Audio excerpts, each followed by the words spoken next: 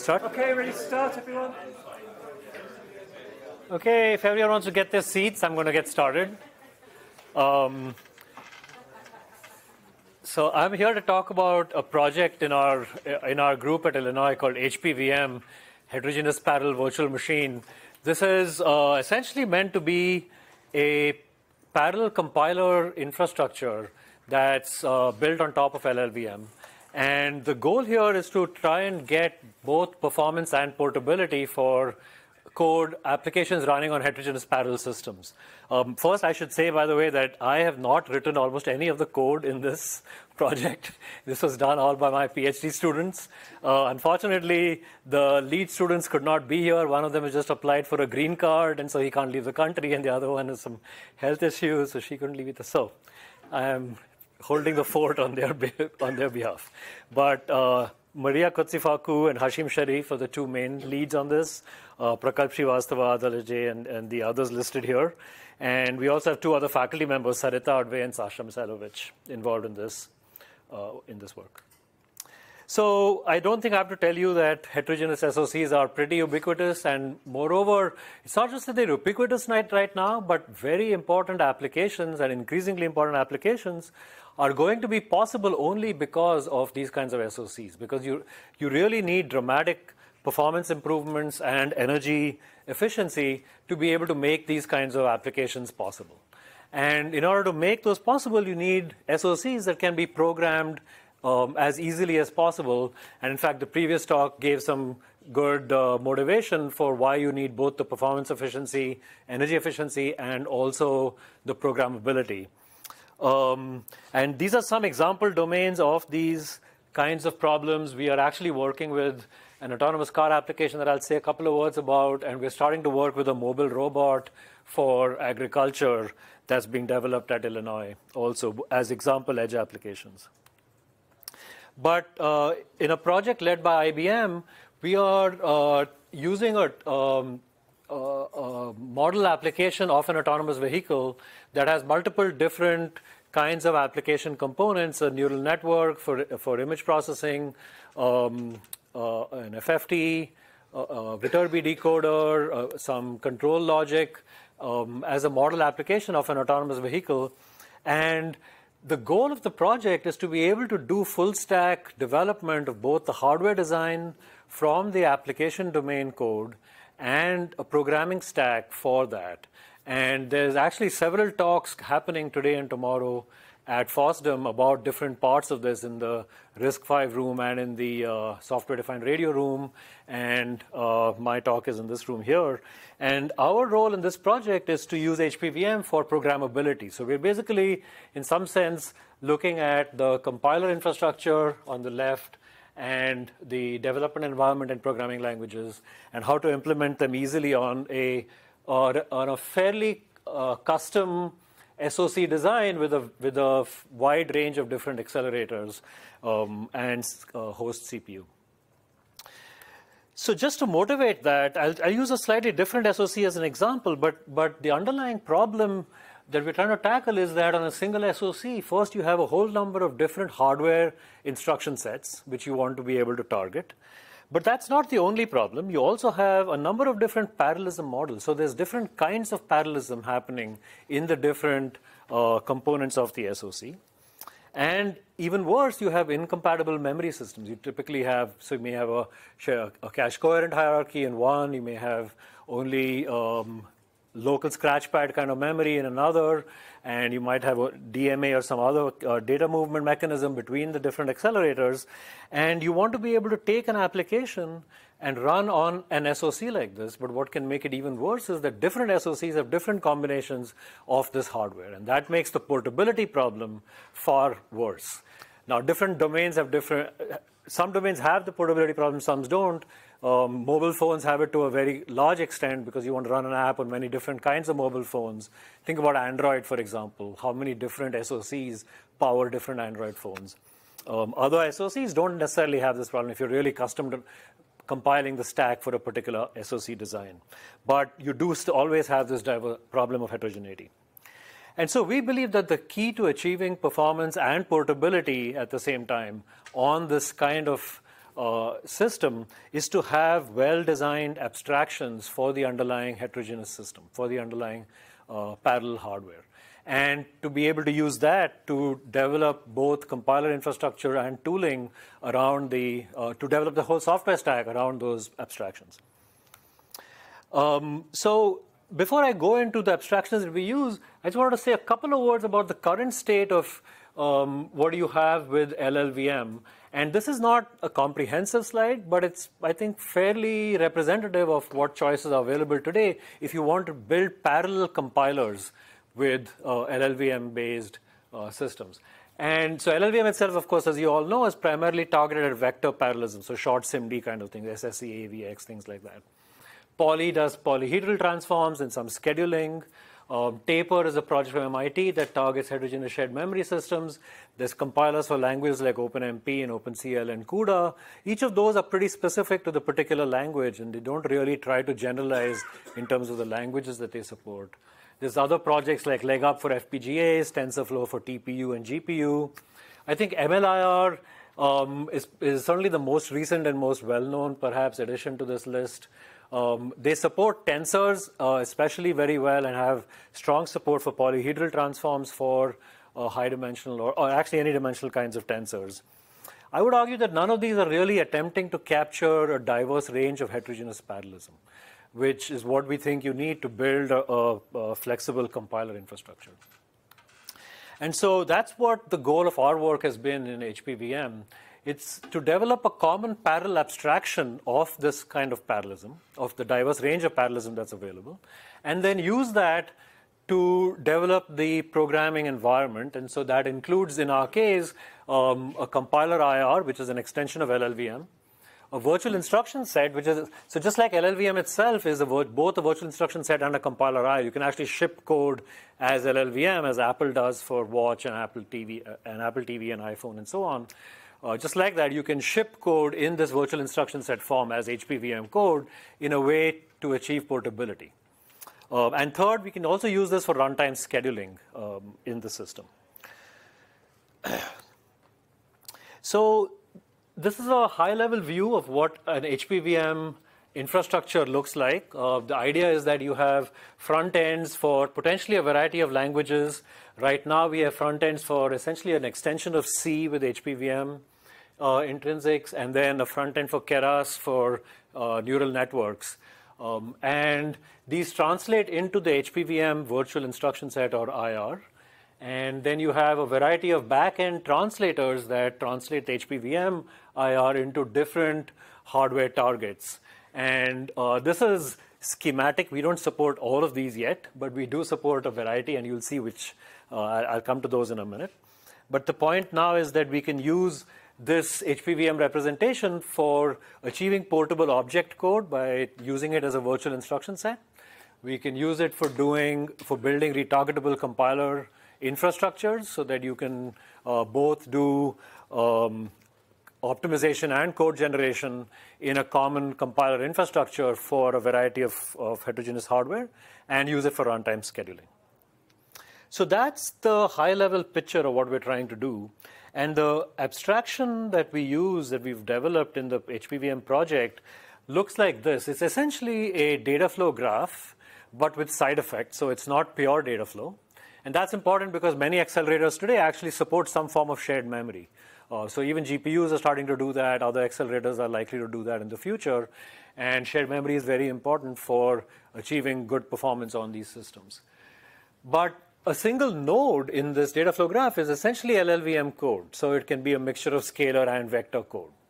Um, and so each node is represented as an LLVM function, which can call other LLVM functions if you need to. Um, and otherwise, it's a standard data flow graph, except for one additional wrinkle, which is that we make this graph hierarchical. So a single node itself can be an entire data flow graph of its own, so that you get a form of, of uh, parallelism hierarchy. And the reason for this is because it's very common to have multiple levels of parallelism in heterogeneous systems. So you might have coarse grained parallelism across multiple different processing elements, different GPUs or different accelerators and the host processor.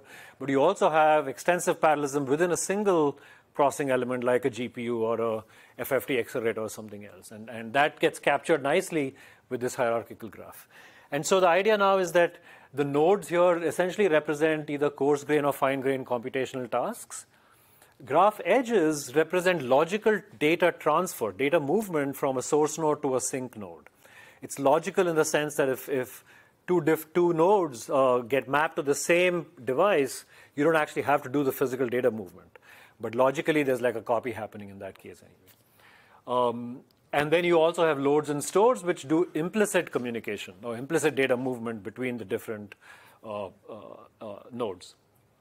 And it's hierarchical, as I just said. One more important aspect of HPVM is that a single node is sort of like a GPU kernel. Just like a GPU kernel gets instantiated into a grid of threads, which might be uh, one dimensional, two dimensional, and so on. Similarly, an HPVM data flow graph node can be given an index or a, or a, a vector of indices, and we instantiate it into a set of parallel instances that will execute in parallel at runtime. And so, for example, if you're given one index one and you n, then you have n parallel instances or threads executing this uh, the same code at runtime, and we require that these instances be independent of each other. Um, that's sort of expected, or, or we rely on the programmer or the front end to ensure that's true. And we support one, two, and three dimensional grids for these. And conceptually, there's no limitation, but that's what the current system supports.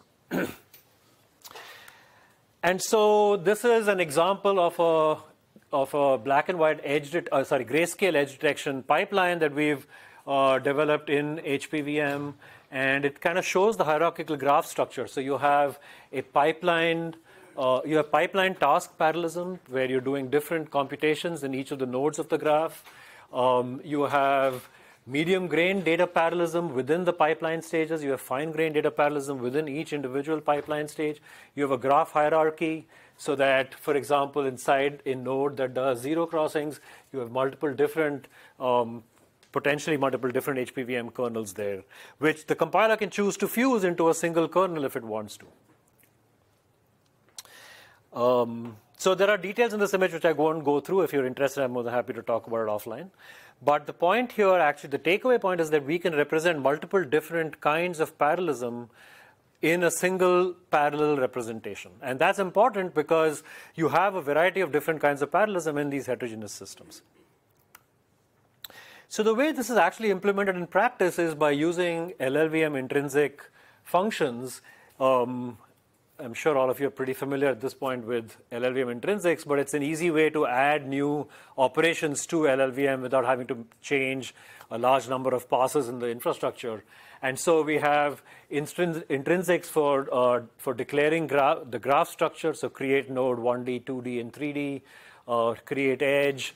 Also bind input is sort of a special case where um, when you have a a parent node with a graph inside it, you need to connect the inputs of the parent node to the inputs of the child graph. And those are just bindings as opposed to data flow edges. And so we have a different intrinsic to declare those bindings. Um, and then intrinsics to query the current graph. So you can ask for your current node ID or the number of instances of your current node or the ID of your parent node um, in order to, for example, partition a computation uh, or, or index into an, a parallel array in, in the threads that are executing in a node.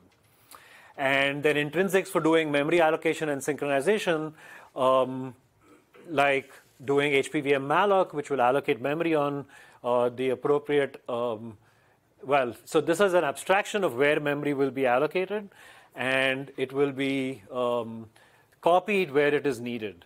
Um, and we also have intrinsics for doing atomic exchange, atomic add, and barrier. Um, this is not necessarily a complete set, but these are enough to do a number of different applications that we have implemented. We also have some additional intrinsics to interact with a host processor that can launch an execution on a particular set of uh, uh, uh, targets in, in, a particular uh, heterogeneous system. And so HPVM launch launches the execution of a single graph. And that's an asynchronous operation. So the graph will start executing while the host processor continues concurrently with that graph. And a program is made up of multiple graphs. So in fact, in theory, uh, uh, the host could go on and launch additional graphs at the same time. And then HPVM wait stop blocks for completion of a particular uh, graph. And then for streaming applications, we have two additional intrinsics, push and pop, which essentially push data elements into a graph for processing, uh, for example, a stream of images or something like that. And pop uh, retrieves results back from that. So I'll just quickly show you a high-level view of the optimization and code generation pipeline, the, uh, sorry, uh, uh, infrastructure that, that we support. So we assume that there's some front end that's generating the HPVM code representation, which is LLVM extended with intrinsics, and I'll come back to the, that issue in a moment. And conceptually, that can be done and then shipped to um, a server or something else is aware of where the code is going to run so that either at the user site or at a server that is aware of where the code is running, you could then do uh, the final optimization and code generation in a target dependent manner. Um, you don't have to do that, but that's, that's one way to get object code portability. Um, and now we have a, a, build DFG pass, which is a module pass in LLVM that takes the LLVM intrinsics and generates a, an explicit graph data structure representation of the HPVM IR. So the nodes and edges representing the hierarchical data flow graph.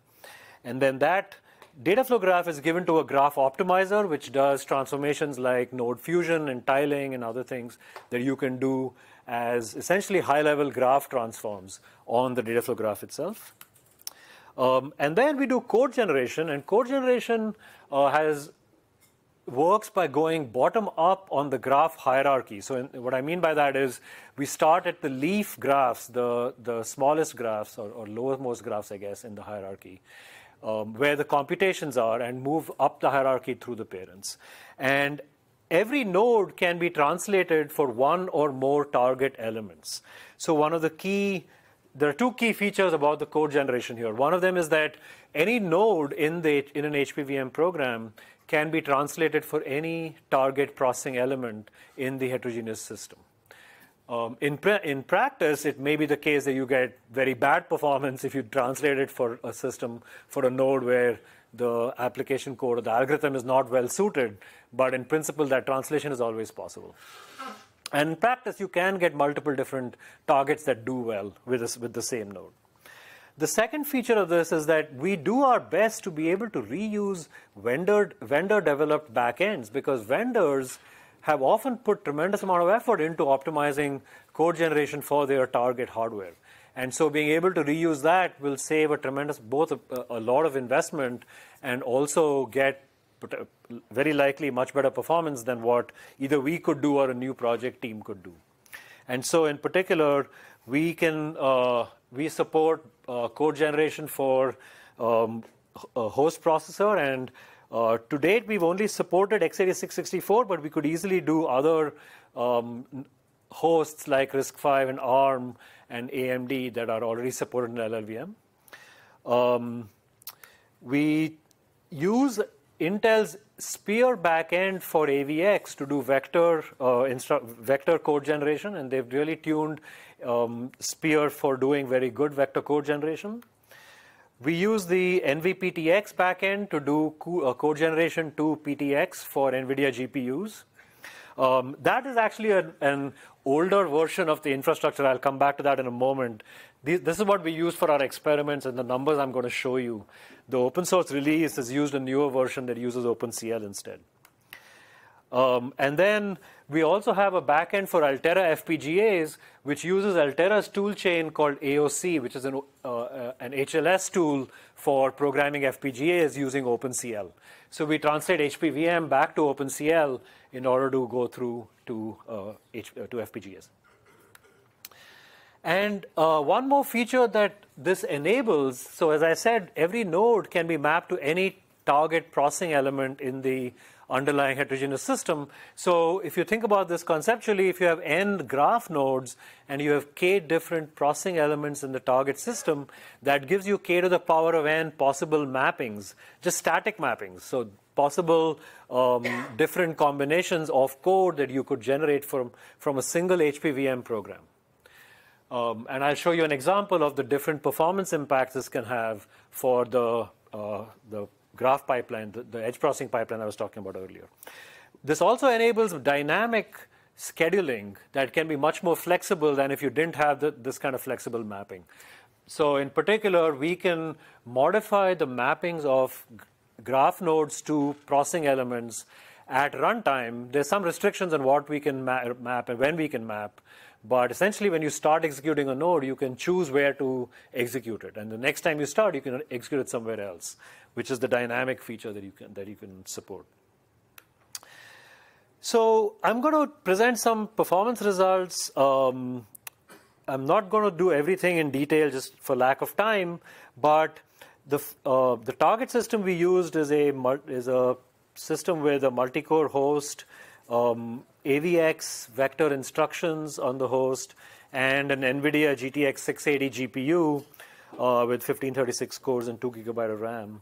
And the first experiment we did was to see what kind of performance impact you get for if you compare handwritten or hand-tuned, I should say, hand-tuned um, OpenCL code that's been hand-tuned separately for GPU versus C, uh, versus vector versus if you take the same code and run it on both GPU and vector uh, hardware. And uh, the benchmarks we used for that are a bunch of benchmarks from the Parboil suite, which have uh, multiple versions. We use the OpenCL versions there. And they have been hand-tuned for both GPU and AVX.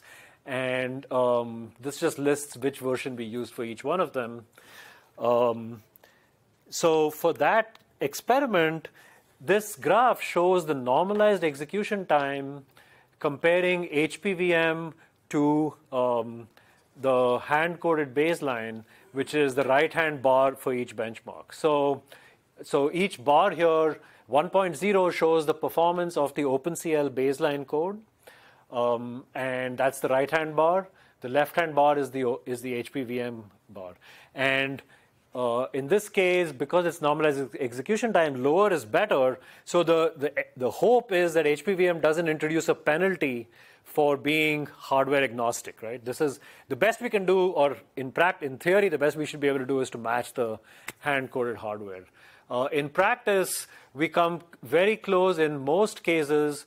Um, I think the biggest discrepancies are in SGEMM and BFS, um, where there's an extra longer kernel copy time that was not being optimized by the compiler, and that led to about a 22% slowdown in uh, BFS and similarly in SGEMM.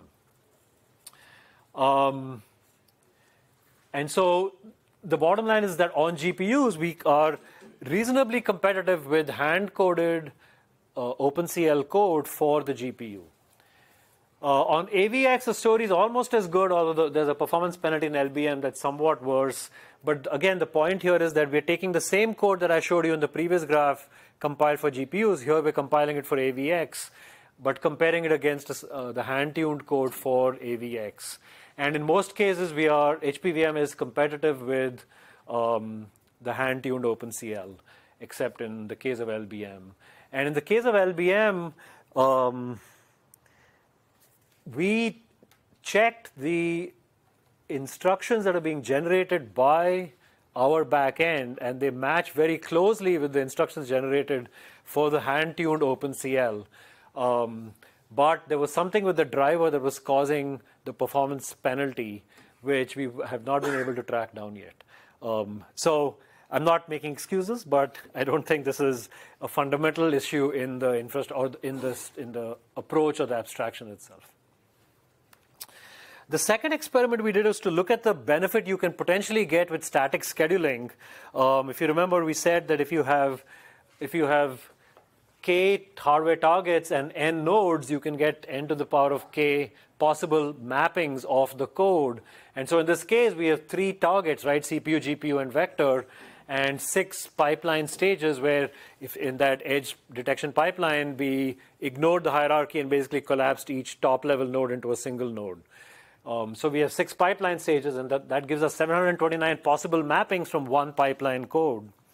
And we just picked we picked uh, one, two, three, seven, so it's been a while, seven arbitrary combinations of these mappings, where what I mean by this is um, S is for a mapping to just the CPU, uh, G is mapping to the GPU, and V is mapping to the CPU with vector instructions for each node in this pipeline. And so the sequence, um, let's say, uh, let's say GGSGGS means GGSGGS are the mappings for this particular case. And uh, what we're showing here is the performance you get in frames per second, that's the y-axis. So higher is better for different mappings of this pipeline. And this, all of these mappings come from the same code. So the point here is not that some mappings do much better than others, although that is sort of the uh, corollary, or not the corollary, sorry, the, the, the, predecessor to the point. The point here is that you can have dramatically different performance with different mappings, but because you can get all of these mappings from the same HPVM program, um, an, optimiz- an optimizer like an auto tuner or something else can optimize the code to try and get as good performance as possible. So that flexibility for scheduling can be really powerful. Um, I don't have time to show you the dynamic scheduling results, but I just briefly summarize um, the results there. The main thing that we showed there is that if you have a pipeline like this running on a combination of CPU and GPU, and you interrupt the execution on the GPU, the application, if you didn't have the dynamic scheduling capability, the performance would completely drop off a cliff. You would basically not be able to make almost any forward progress at all. But when you have the dynamic scheduling capability, you can gracefully degrade and map the same some of those nodes that were mapped to the GPU, instead you can map them to the CPU and execute there using the vector instructions to get at least reasonable performance. Um, so just to summarize, HPVM uh, is able to get performance that's that's reasonably comparable to hand-tuned codes for the different heterogeneous hardware targets from a single HPVM program. And the flexibility of static scheduling gives you um, a lot of uh, freedom to be able to optimize for performance. And similarly, the flexible dynamic scheduling can also enable you to, to tolerate dynamic changes in workload or, for example, deadlines if you work in a real-time system or something like that. And one of the things we're doing in the project with IBM is, or I shouldn't say doing yet, but we're, uh, we're going to do soon, is IBM has been developing a scheduler called Stomp for real-time scheduling of um, an application running on this kind of domain-specific SOC. And what we are planning to do is to integrate the HPVM dynamic scheduler with Stomp in order to take advantage of this kind of flexibility of being able to move computations from one node to another. So we've uh, released HPVM open source, um, which includes the IR and a verify pass. This is HPVM is an e extension of LLVM, as I said. This is uh, right now using LLVM 9. Um, we have a front end that lowers from HPVM C, the C extension of HPVM, to the data flow graphs. And the open source release only includes the NVIDIA GPU and Intel or AMD hosts. Um, we do plan to release AVX, but there's some limitation with the SPIR drivers, with the Open Intel OpenCL drivers, that we weren't able to test really enough to be able to release yet. And hopefully soon in the future, the FPGA backend as well. And there's also a, documentation for the IR, for the C programming interface for this, and an installation guide. And a much better test infrastructure than what we've been using so far internally that um, includes both regression tests and unit tests, but also the parboil benchmarks, the edge detection pipeline, and uh, an image, uh, uh, sorry, a camera pipeline for uh, image processing that we've been using in the in the IBM project as a as sort of a pipe cleaner application. So all of those come with the release, and the main changes we've made to, to the code for this release are one of them was to port to LLVM 9. We were on a much older version for quite a long time. And that's really the bulk of the work was that, to make that um, more up to date. We've also um, developed a new backend from LLVM to OpenCL based on the. So long ago, if you all, some of you might remember, there used to be a C backend for LLVM, which had been abandoned for a while, and it turned out Julia, the Julia project at MIT had revived that, and it's much better now. It's in much better shape. It's more robust. We used the Julia C backend, extended it to uh, Emmet L- uh, OpenCL as the backend, and uh, we use that to compile to PTX now instead of using the NVPTX backend from before because we found a significant incompatibility between the NVPTX backend and the current uh, NVIDIA drivers. Um, and a better testing framework, like I mentioned. So the main piece of work we're doing right now, well, there's a, there's a couple of things we're doing right now, and then a couple of things that we are hoping to start on very soon. Um, the HPVM to FPGA code generation work, our goal there is so first, this is a bit of a research. Pro- it's more than a bit. It is a research project at this point, but the goal there is to enable hardware agnostic programming of FPGAs. And you know, traditionally, you all know FPGAs have been used widely for embedded systems. They've been used for prototyping, hardware designs. But in all those cases, typically you have a hardware designer on the team who understands hardware and can tune the hardware design really well things are starting to change in the FPGA world because you're starting to get FPGAs available in places like the in AWS and also in uh, Azure, where where open software teams can try to use FPGAs to accelerate their applications. But many software teams today don't have that kind of hardware expertise in house, and so there's much greater need these days for, for doing more hardware agnostic kind of programming. And even today's HLS tools don't come close to that, even though they're much simpler to use than Verilog or VHDL. Um, you still have a lot of pragmas and a lot of hardware knowledge that you have to bring to bear in order to tune and, and optimize code for an FPGA.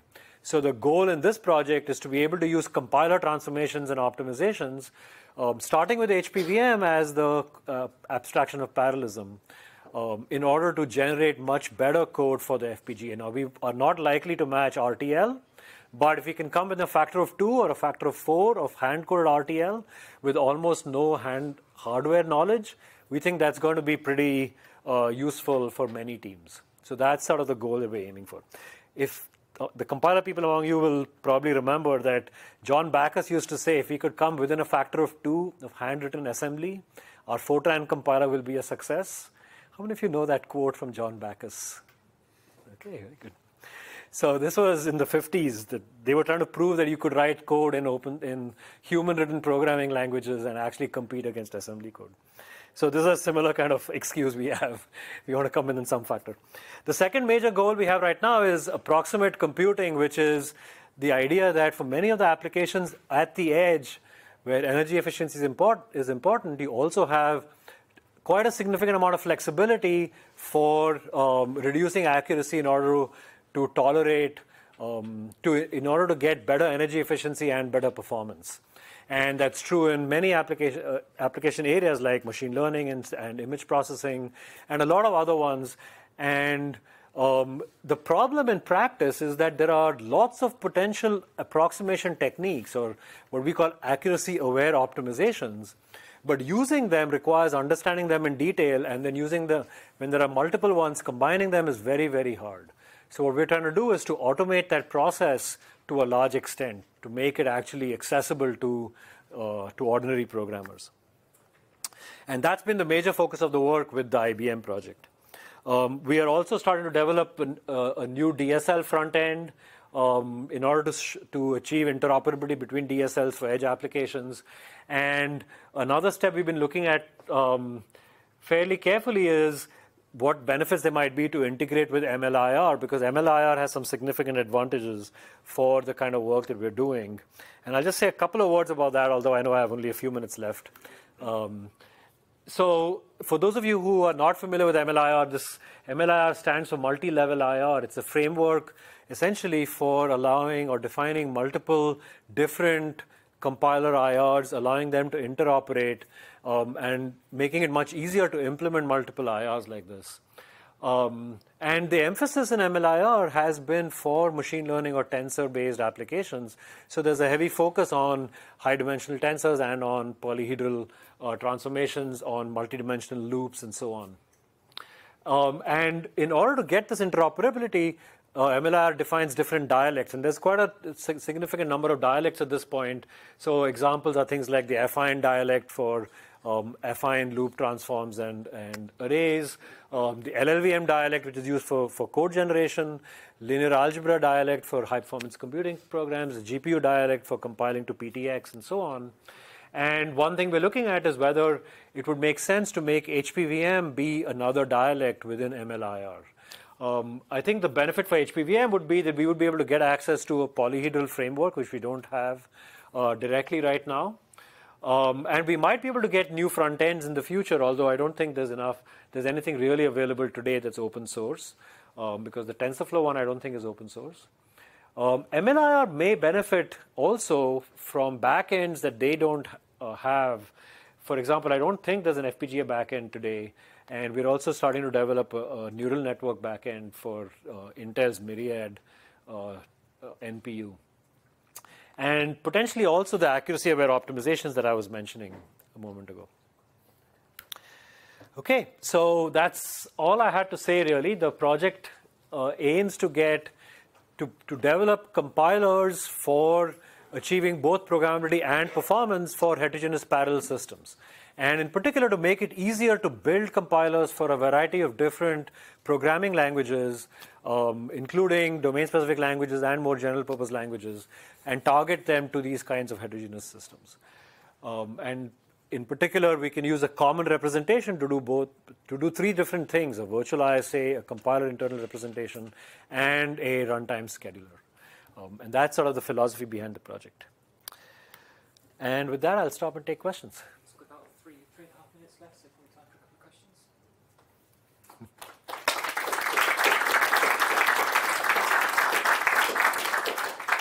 Christoph? Yeah. talking to my colleagues in the GPU department, they say there's if you program GP, GP GPU using OpenCL or CUDA, there's basically no performance portability. You have to know the, the microarchitecture of yeah. your accelerator That's to true. get the most performance out. And I think in your presentation, I'm not entirely sure if I saw anything about um, once you decide to map onto a particular accelerator, mm-hmm. I'm assuming the IR still looks as pretty generic IR. Right, right, right. So this is to map to the specific microarchitecture, or right, right. Is that out of scope for this research project? No. So actually, that is the reason for this. Where did I? There we go. So this particular step where the IR starts out being hardware agnostic because the front end is lowering it to an HPVM representation that's not necessarily specific to a hardware. But to do any optimizations and code generation, you really have to be cognizant of the hardware. And so once you are targeting a particular GPU, for example, this is very, very GPU specific, right?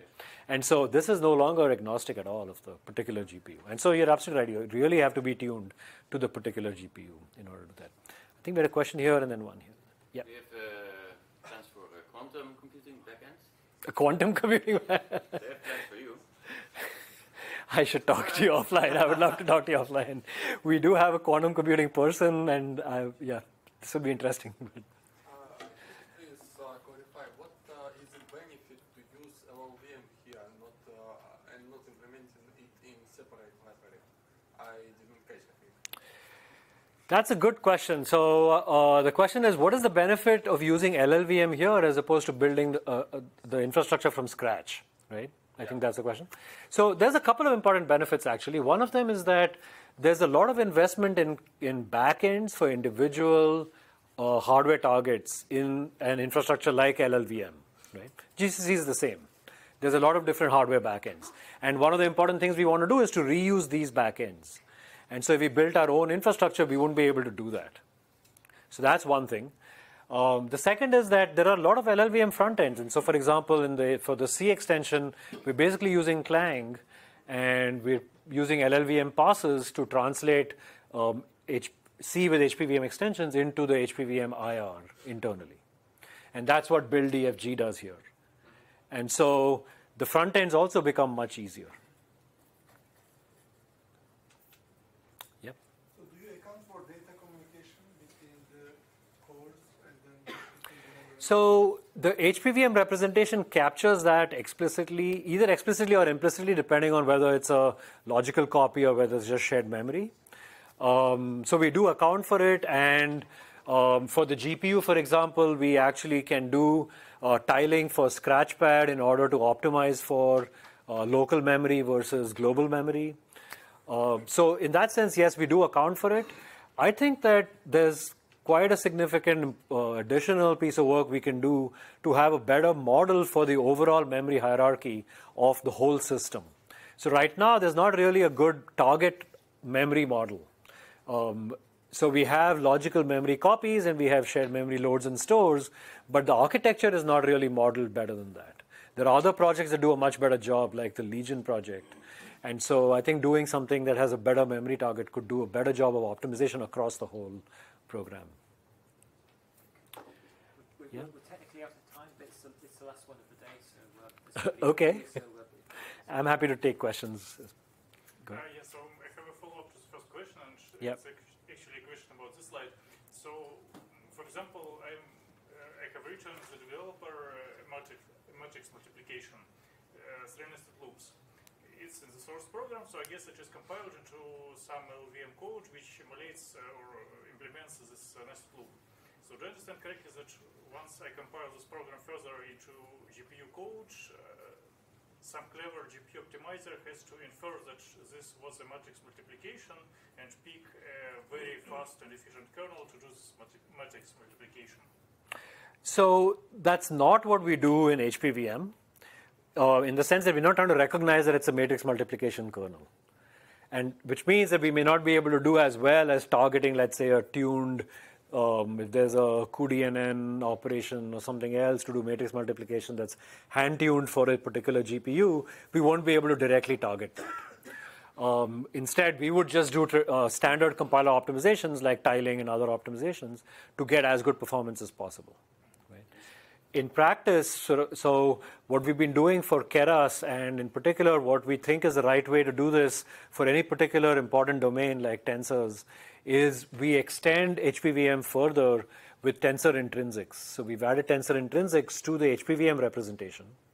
And tensor intrinsics now are a higher level piece of information that we can target to something like cuDNN or a hardware accelerator or something else without having to reverse engineer what the, the kernel is. Another way to do it, instead of adding intrinsics in this way, is that uh, another uh, team on our project, the Harvard folks, David Brooks and his people, are doing some work to use tracing to automatically detect by, con- uh, extract a dynamic trace of execution of basic blocks and do some pattern matching probabilistically to match that to similar traces for a particular computational kernel. So it might be an FFT or a matrix multiply or something else. And that tells you that this is a matrix multiply. And so now we can directly target uh, an accelerator in that way. And so there, we're going to basically take input from their tool to figure out what the accelerator is to be targeting for. So that's the integration with, how, with Harvard that we're doing in the IBM project. Can I uh, relate to that? Um, I have a question that um, follows on that. Um, are you open to, let's say, manual um, overrides for specific architectures? Suppose uh, you the programmer Well- is knows okay this piece is a bottleneck, or maybe he knows already. Hey, if I run it on a CUDA, you might use a native lib on there, uh, Yeah. so that you can make specific hints for or specific. Uh, So yeah, so you know, this was a, th- these were PowerPoint slides. yeah. In we don't have a intelligent scheduler, right? All the only numbers I showed you was the potential that you could build a very sophisticated scheduler. In practice, what we do is to actually do attributes just like you're describing to say map this uh, node, DF, uh, DFG node, to this hardware device or this set of hardware devices as a set of choices. And then we use that to guide the compiler. And so in practice, yes, you can certainly put in attributes to say which nodes should be mapped to which hardware device.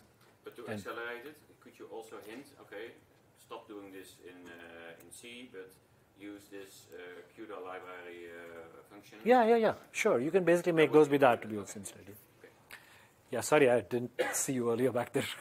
And I was giving him a hard time about it. I know, I noticed. Go ahead.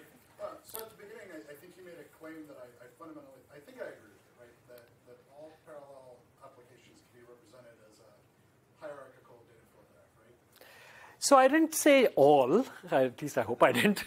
I think that what I, okay, so what I intended to say is that parallel applications that will, that are suitable for heterogeneous parallel systems. So accelerators in heterogeneous parallel systems tend to be data parallel or some combination of data parallel and streaming or pipelined. Right? These are not arbitrary threaded concurrent parallel computations. And in particular, I think there are classes of parallelism that are not well suited for HPVM or vice versa. And um, there are lots of multi-threaded parallel computations that I wouldn't want to try and compile with this. So, so that brings me to my actual question. Sure. Be made harder. Um, so the, was, how would you evaluate that claim, right? So how would you Yeah. evaluate the claim of all? All is way easier than I, I picked the right things. Um, so, so how would you evaluate your claim? Yeah, Like, so it's a good question. An argument I'm having with students. yeah. So um, I don't think there's an ideal way to do it because this is not. There's an infinite set of possible parallel um, hardware designs um, and heterogeneous systems. I think that this will only happen by a accumulation of evidence. And in practice, what we hope to be able to show is that as you compile to uh, systems with a few different combinations of accelerators, we're able to get very good performance or some definition of very good. And we're basically talking about some coming to some factor within some factor of hand-tuned code. Right? And that's, I think, the best practical way to be able to make that or to, to provide evidence to justify that claim. I'll be honest with you, in practice, what we found is that you start doing this research, and we did that, and there's many interesting applications of it, and the students are moving on, and so we're now moving to a phase where we're not trying to prove this anymore. we are now trying to use this for interesting and practical projects. So in the IBM project, for example, we're trying to use this as a way to design SOCs or make it easier to design and program SOCs.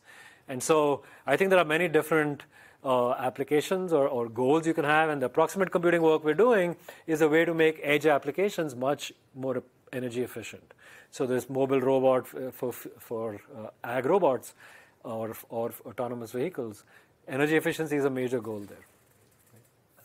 I we we, we, just give anyone who wants to leave an opportunity to leave. Yes, okay. So we don't have- And I'm happy to stay and keep answering answering questions or talk, but the announcement is people are welcome to leave if they would like to. Yeah, I think also. Oh, I, I was going to ask only because this, this makes a good last question. Sure. You, you, you like raised a red flag right at the very end, saying that you were going to solve the uh, high-level language to FPGA problem, which I've been burned by so many times now. if you actually do that, I, will celebrate. I'm also Yeah. soaking in cynicism. Um, so what are you going to bring to the table? Well, I think the reason you're soaking in cynicism, honestly, is I have talked to lots of FPGA pro- not lots. I've talked to some FPGA programmers and experts, is because it, what I usually find, at least in, when talking to them, and I'm assuming it's the same with you, is that they are coming from a background of having hand-tuned or, or comparing mentally against some hand-tuned baseline, and we are not trying to achieve that. We are not claiming that we will compete with RTL. But it, it blows up is the problem. Like when you when you give these things toy problems, it looks beautiful. You give it like an intermediate problem, and you're like, well, it starts performing poor, poorly. You give it a real problem, and it just tanks. So you're saying that basically there's no, pr- it'll be so far off any reasonable performance that it won't be useful. Yeah. So you, you That's- hear these claims, you hear these claims where they do reason, reasonably well, and then you go, oh, that was because you did a toy problem. Fine. Yeah. So honestly, I don't have the answer to that because we are too early in that process. We are only doing. So we what we've done so far, for example, is that image processing. It's a camera pipeline. Uh, we've compiled it to Altera. It runs reasonably fast, and it. um, we've been able to get the, for example, the what is it, the initiation interval was very bad when we started with, and with some compile optimizations, we're able to get it down to a well pipelined single cycle uh, pipeline um, and that fits in that uh, Altera chip. Um, is that a enough? I don't think so. I think more complex applications, we'll have to, the juries will definitely out. And I think in practice, it's going to take many significantly more compiler transformations in order to make this possible. But until we can do that and then see what it works out like, I don't know. But yeah, this is literally a research goal and a and a and an aim so far. Yep. If people want to live like Yeah, if you want to leave, prefacing the question, go ahead. So is, uh, is every node kind of independent kind of application? So for example, if you have like two GPU kernels, will it like data stay? Is every node independent? You said. No, no. Is it like so? If you, for example, have like two consecutive GPU kernels, Yeah. the data stay on GPU, you can execute them, or will Right. So um, one of the things which I did not show in the intrinsics is that um, we use a runtime memory tracker to track the current location of every allocated memory object. So HPVM malloc allocates a memory object, and for example, um, if you if you compute on one device and move, and then you need to access on another device, we know that it's on the first one. If you compute on one device and this next node, eh, DFG node computes on the same device, we know that they're both on the same device. The runtime tracker keeps track of that. So the runtime memory tracker, it's not very complicated, but it's essential to be able to do exactly the optimization you're talking about. I think we better, we better stop there. I could put the room back Okay. together. But yeah, Yes. Thank you.